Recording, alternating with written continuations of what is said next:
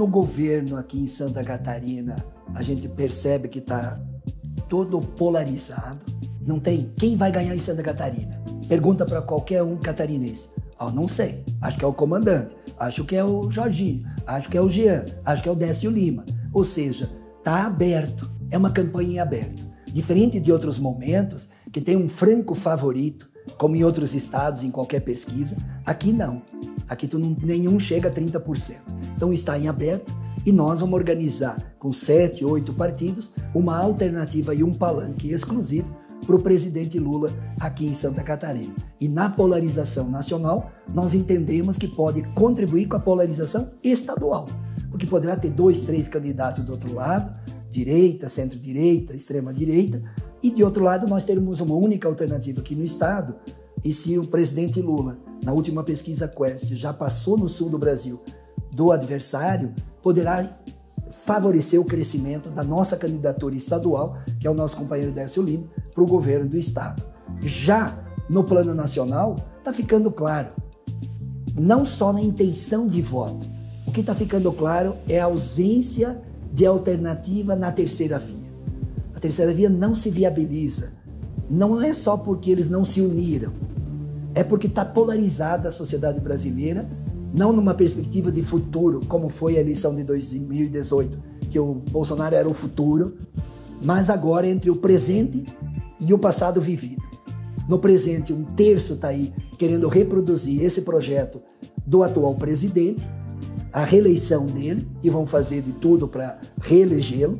E aí tem as pesquisas indicam aí um terço da população apoiando esse projeto.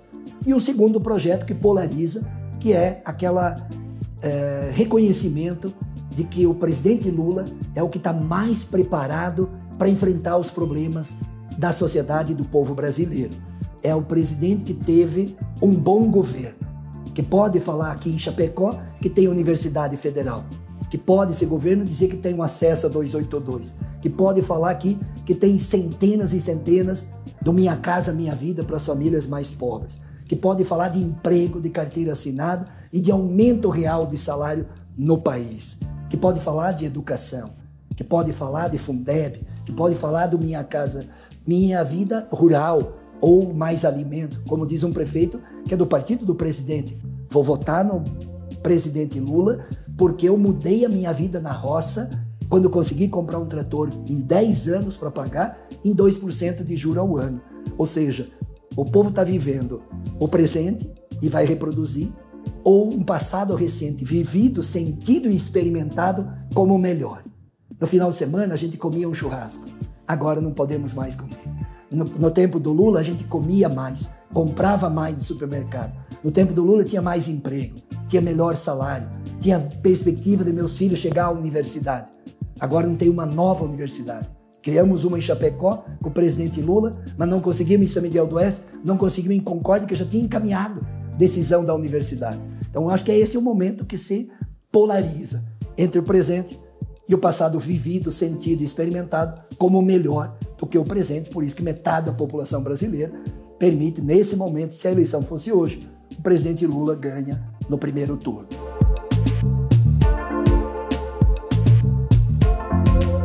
Como nossa estratégia, diferente de outros partidos, é, quer eleger governador, quer eleger é, outros espaços, nossa estratégia é eleger presidente da República. Nosso partido definiu que é o centro da nossa estratégia é eleger o presidente Lula. Nesse sentido, precisamos ter um reforço, uma retaguarda no Congresso Nacional. E dentro do Congresso Nacional, a Câmara dos Deputados é muito importante. Hoje tem muita extrema direita na Câmara dos Deputados. Tem muito orçamento secreto lá. Nós temos que enfrentar isso no Congresso, fortalecendo e elegendo mais deputados federais. Por isso que eu me dispus, depois de três horas de conversa com o presidente Lula, junto com a nossa bancada, me convenci que eu deveria fazer mais um mandato de deputado federal para dar retaguarda, sustentação às mudanças que o presidente Lula vai fazer na saúde, na educação, na agricultura, no apoio ao setor empresarial produtivo para gerar emprego, gerar desenvolvimento, crescimento, reindustrializar esse país. Senão não tem futuro esse país se tu não reindustrializa, Então, eu quero participar. Eu atuo na área do programa de governo, na área energética, fiz a lei aí das. ajudei a fazer a lei 14.300 das energias renováveis, energia solar. Atuo na área da educação, para expandir nossa Universidade Federal para São Miguel do Oeste, para Concórdia, para o Planalto Norte.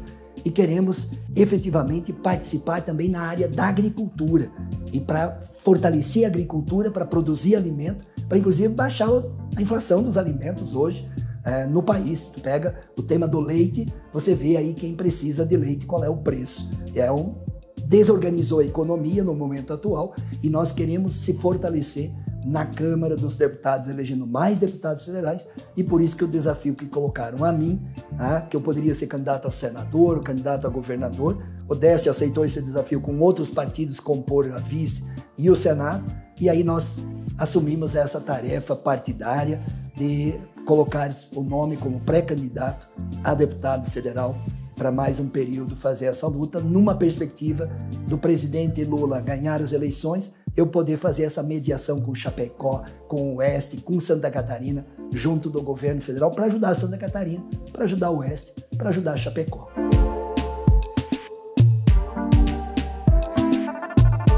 Eu tenho, eh, pelo menos eu vejo a consolidação do Décio Lima como candidato a governador, e tem espaço para o Dário Berger, como para o Senado também, tem o Afrânio, que é o nosso candidato a senador, que eu tenho muita simpatia. Se tu me pedir, eu sou simpático ao nome do Afrânio. E tem o Bueira também do PDT, que está colocando o nome dele também para compor. Temos quatro lideranças para três participarem dessa chapa. Eu estou muito confiante que vai chegar uma unidade e eu defendo o Décio como nosso candidato a governador. 13 lá, 13 cá, faz o casamento, todo mundo ganha. Os catarinenses ganham até porque eu não consigo mais nem falar de rodovia e nem andar pelas rodovias aqui em Santa Catarina. E, e a situação atual, o povo está insatisfeito e quer alternativa.